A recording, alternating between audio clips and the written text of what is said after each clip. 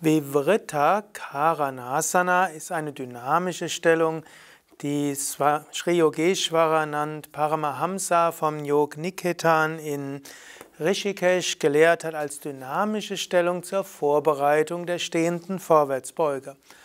Auf Deutsch ist diese Übung auch bekannt unter der Bezeichnung Holzfäller.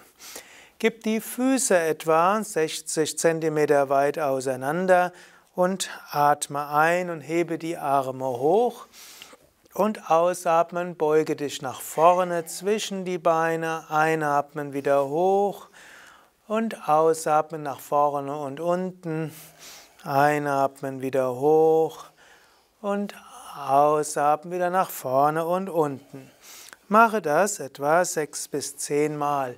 Diese Stellung hilft, die Lungenkapazität zu erhöhen, wärmt dich auf und ist auch eine gute Übung für die Körperbeherrschung. Diese Stellung ist nur geeignet, wenn du keine Probleme im Rücken hast, denn Menschen mit Rückenproblemen empfinden es manchmal als nicht hilfreich, dynamisch in die Dehnung zu gehen. Bei Yoga Vidya halten wir meistens die Asanas eher stabil, aber manchen empfinden solche dynamische Übungen als hilfreich, bevor man dann ruhiger in der Stellung verharrt.